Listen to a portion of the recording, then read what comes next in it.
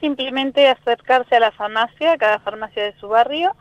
Eh, todas las farmacias colegiadas están adheridas a, este convenio eh, y pueden llevar eh, los medicamentos vencidos que tienen en desuso y colocarlos directamente en el cesto. El cesto va a estar con el acceso directo al, a los pacientes clientes, así que ellos mismos los van a depositar allí. Sí, alrededor de 42 farmacias, la mayoría de las farmacias están adheridas. Un cesto especial que eh, los va a eh, proveer la municipalidad y los va a colocar en cada farmacia. Perfecto. Es algo bien visible, grande.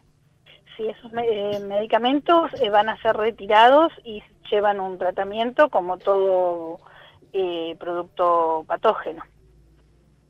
Así que una empresa recolectora los, va a retirar de la farmacia y va a proceder a, realizar este procedimiento y después nos va a informar al colegio eh, a través de un informe eh, del parte en el mismo domicilio también es peligroso que estén porque por ahí hay chicos o personas eh, de edad avanzada que se confunden entonces bueno también es peligroso